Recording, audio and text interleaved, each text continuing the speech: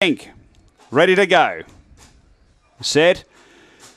And away. My excuse hopped out well. It's going to hunt through. Look for the lead. Gusto Bale trying to burn through, but my excuse got over. Got out by two or three on Gusto Bale. Uh, next is Everlasting Gaze and then Nitnoy. Uh, behind those, Wayne's Error. Then Future Pass from Thanks Tubby and Madam Crash back at the tail. But my excuse down the back, well clear. Out by eight lengths here. Everlasting Gaze through to second. Then Wayne's Error, but on the turn, my excuse the leader. Everlasting Gaze making some ground. My excuse in front though, and it'll do enough. My excuse by three in the end.